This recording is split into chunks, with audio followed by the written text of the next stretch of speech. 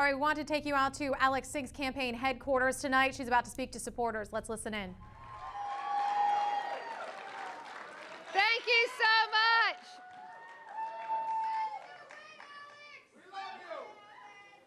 Thank you so much to all of our friends and supporters who are listening, but all the people in this room who have waited so long. This is turning out, as we suspected, to be a nail biter and a classic Florida election.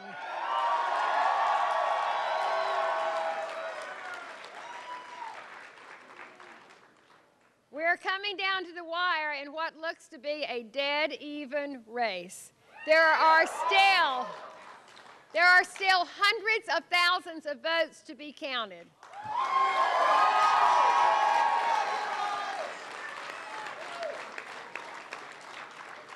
In Palm Beach County, in Broward County, and yes, in Miami-Dade County.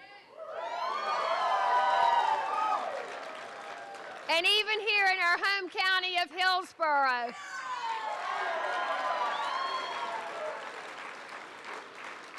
Now, we're Floridians, so we know what it means to count every single vote.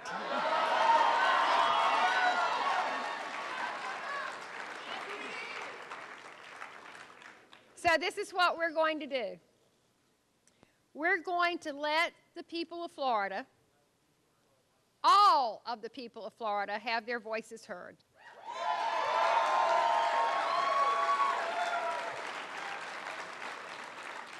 And I'm proud to stand here before you with uh, my running mate, Rod Smith, who's just been wonderful. And I want to thank all the people, millions of Floridians who went out to the polls, who have made their voices heard. But we will wait to have all the voices heard before I say you.